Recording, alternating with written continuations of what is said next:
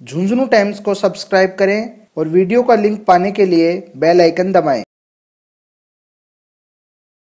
देश के अमीर लोगों की सूची में शामिल रिलायंस इंडस्ट्रीज़ के चेयरमैन मुकेश अंबानी की बेटी ईशा अंबानी की शादी आनंद पिरामल के साथ होगी।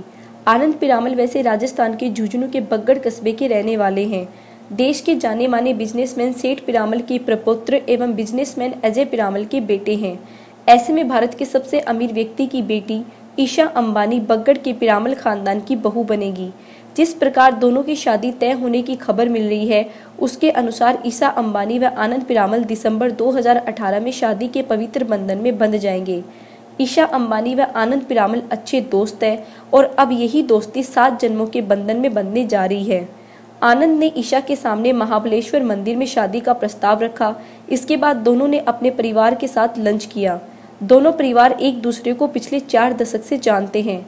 आनंद ने यूएस में पढ़ाई की है, हार्डवेयर बिज़नेस स्कूल से ग्रेजुएट हैं। फ़िलहाल आनंद पिरामल एंटरप्राइज के एग्जीक्यूटिव डायरेक्टर हैं।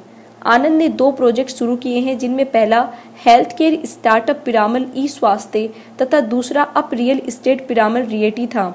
अब दोनों ही पिरामल एंटरप्राइज का हिस्सा हैं। वहीं ईशा रिलायंस जियो एवं रिलायंस रिटेल के बोर्ड में शामिल है।